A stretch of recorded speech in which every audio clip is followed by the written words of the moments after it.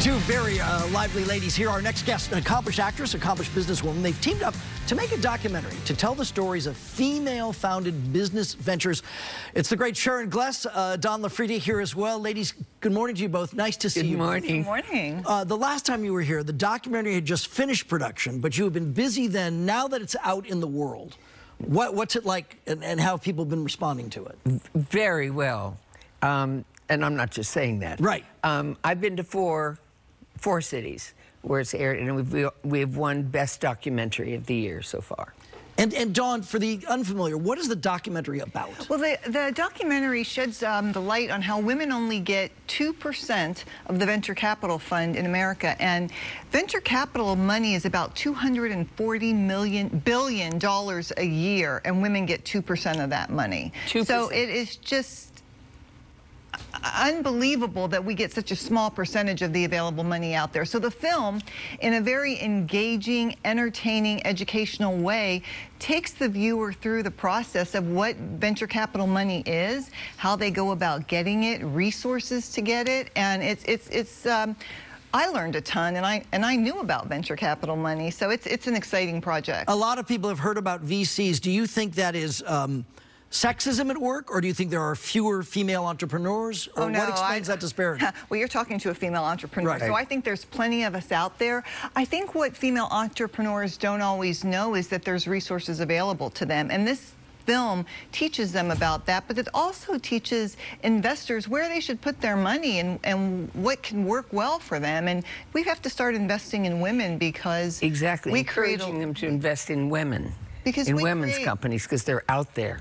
And we create a lot of great ideas that don't ever get brought to the forefront because we can't get the financing. So this movie shares that story. Sharon, you've had remarkable success as an actress. At, at did you start out with a day job? Do you know what I, I mean? did. I was a secretary at the studios. Okay. I did.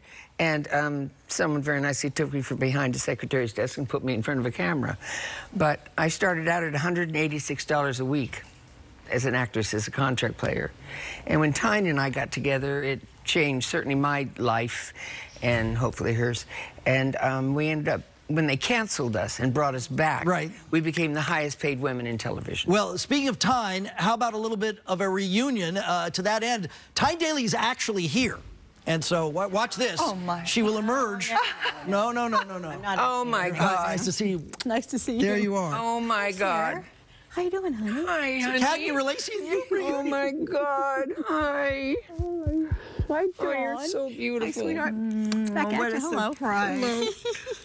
What Not- a treat. This is my friend who's turned herself into an entrepreneurial uh, Make yourselves at producer home. person. I'm so, um, not to mention the book. Have you, have you, have you flogged the book yet? the book is terrific. I've read the book. I haven't plugged the book. oh, yeah. But, but you know what? All in. She, she brought up how that when the two of you were doing Cagney and Lacey, that, that initially did you feel underpaid and underappreciated and then things changed? Uh, no, I just felt lucky. And uh, to have a steady job, you know, because there'd been a, a number of offers to do series, and I said I wasn't interested. Anyway, the, the, the, the material itself was fun. The opportunity was fun because I was listening to your conversation. Oh, honey. But in terms of, you know, wasting 50% of the world's talent, the uh, uh, police departments all over this country realized that they, they were wasting the talent to not have women to be able to come and deal with the terrible things that were happening to women, to the stuff. That women's stuff would maybe be better served if they had women talking about it. Which, so there's that. And we were paid. We were paid well for we were talking. paid well, Right. yeah, and then we were fired, and then we were paid a little better. But, but Right, you weren't I paid, Fired, but wait, and but they were wait. a little bit more better. You weren't paid as much as the men, though, were you? no, No. So there- it didn't there was- occur to us to ask. I was so excited. We're making more money than any other woman oh, on TV. yeah. Right. I never occurred to me to ask what the men were making. All right, and then, and then did, Twice did was it ever pointed out to you that there was a disparity? And did you have a thought about that? Eventually, And did you have a thought about that disparity? Yeah, I thought it sucked. Pardon me. um, but in, those, in that day and age, it was it, it wasn't a thing that we fought for because we were women. We wanted to make as much as they did. It, it, as big a star as you are is how you get paid, Right. not what sex you are. Well, but then you'd see Meryl Streep getting up and applauding at the Oscars about about equal pay. You know, Right, um, um, right. The disparity of pa- pa- patriarchy is t- real. It's just real, you know. So, so um, So that's the excitement about this film of women being made more aware of Yeah. The money is there. Right. It's just it, it's just the one thing that is happening in, in show business. The two of you are certainly aware.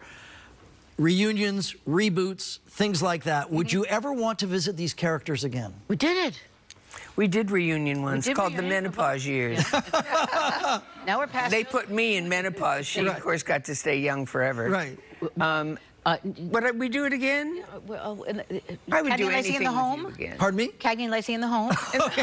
I don't know about Honest that. to God. You're, you're heading back to Broadway.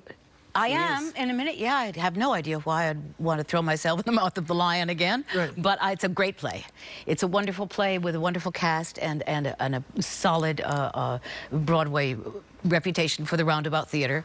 So yeah, I, I have, in the new year I have an assignment. There you That go. always makes actors happy. Well, I tell you what, uh, we're going to continue to kibitz all day. Uh, oh, we'll let you know where you can see the the documentary. movie. Show Her the Money will be this Friday and Saturday, Laemmle Monica Film Center. First through the 7th, actually. We're all week at the Laemmle in Santa Monica. So Right. All right, out. different show times. Uh, you want more information uh, where you can see it is uh, laemmle.com. That's a fabulous uh, pair of theaters, by the way. So that's great. Show Her the Money is a terrific, terrific title.